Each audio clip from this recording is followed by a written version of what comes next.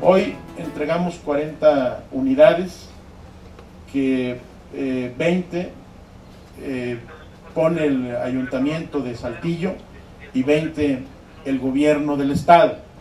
Eso hay que decirlo de manera clara y contundente, porque es a través de un esfuerzo bipartita, es a través de un esfuerzo coordinado como realmente se pueden dar los resultados.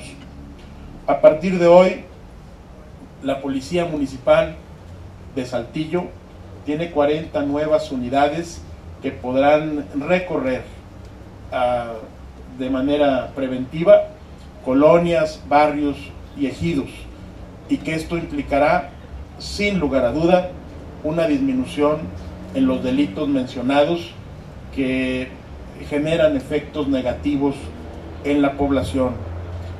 El tener policía de proximidad es una gran ventaja.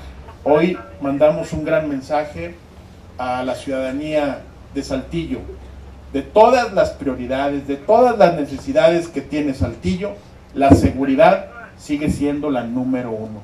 Por ello, hoy estamos aquí en los primeros meses de, la administración haciendo entrega del equipo necesario y vamos a seguir trabajando para eh, seguir orientando eh, todos los programas que en materia de seguridad y prevención eh, requieran de el apoyo económico y de los proyectos que a través de los recursos federales se tengan que generar en los próximos meses para seguir disminuyendo la delincuencia y sobre todo los delitos del fuero, del fuero común.